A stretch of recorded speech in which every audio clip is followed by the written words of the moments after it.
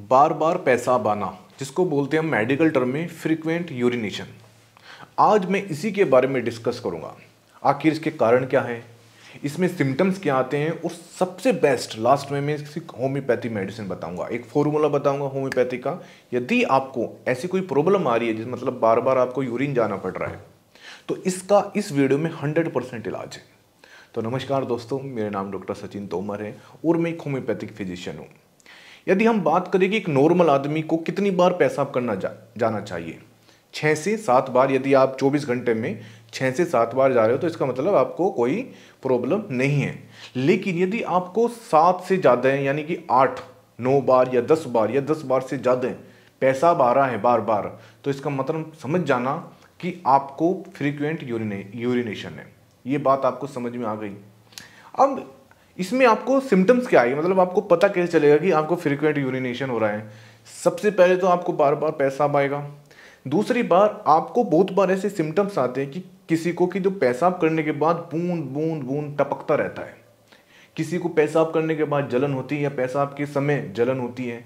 किसी को पेशाब करते समय बहुत तेज दर्द होता है। या रात को स्पेशली रात को, किसी को रात को ही ज़्यादा, दिन में प्रॉब्लम नहीं है।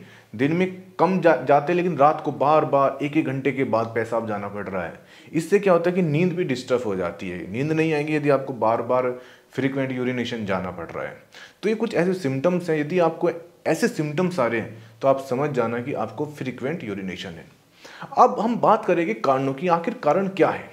सबसे पहले कारण आता है डायबिटीज़ चाहे वो डायबिटीज़ वन हो, चाहे डायबिटीज़ टू दोनों में ही सिम्टम्स आते हैं।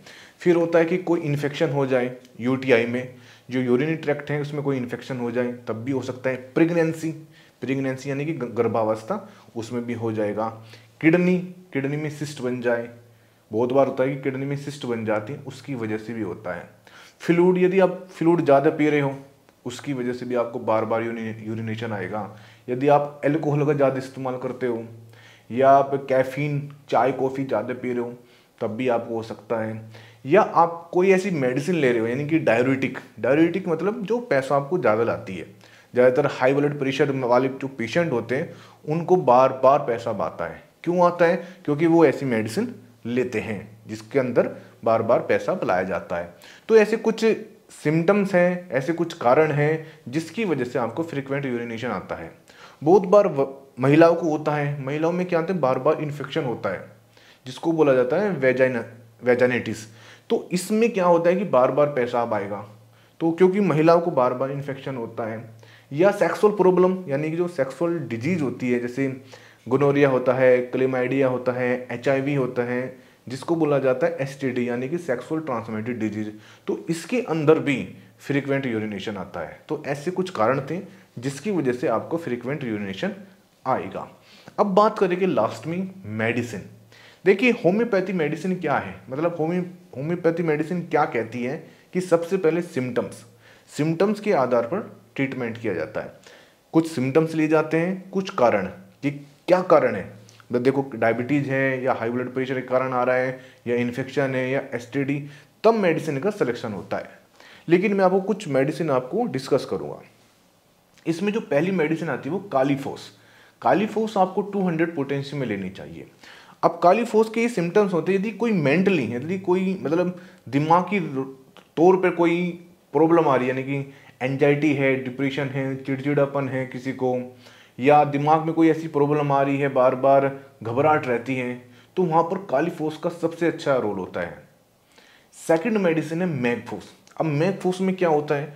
मैगफोस में यदि कोई मसल्स प्रॉब्लम यानी कि जो ब्लेडर है यूरिनी ब्लेडर है, वहाँ पर कोई प्रॉब्लम आ गई।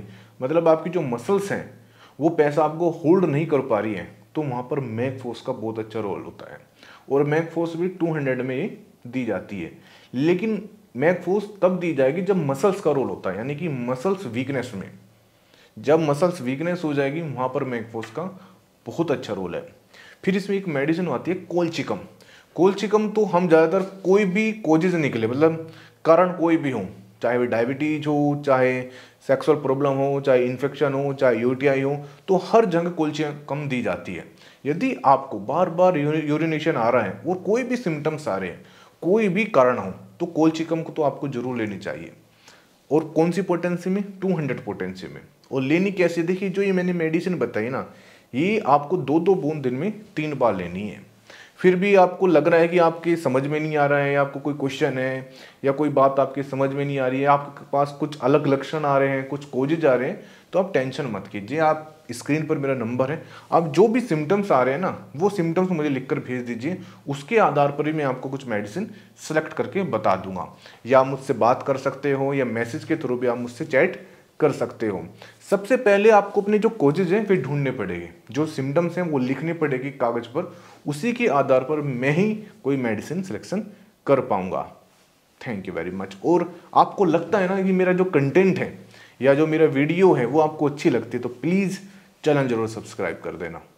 धन्यवाद।